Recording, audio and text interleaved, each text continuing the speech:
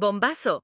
Taylor Swift vuelve a Latinoamérica antes de lo que creías. Como seguro ya sabrás si estás viendo este video, Taylor estuvo de paseo en América Latina el año pasado, específicamente por México, Brasil y Argentina, con The Eras Tour, siendo esta la primera vez que le regalaba a los fans latinos un show de esta magnitud.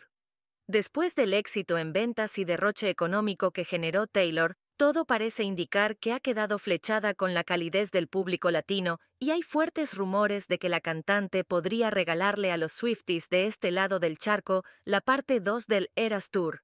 De hecho, se dice que ya iniciaron las negociaciones con distintas productoras para que Taylor regrese a Latinoamérica este 2025.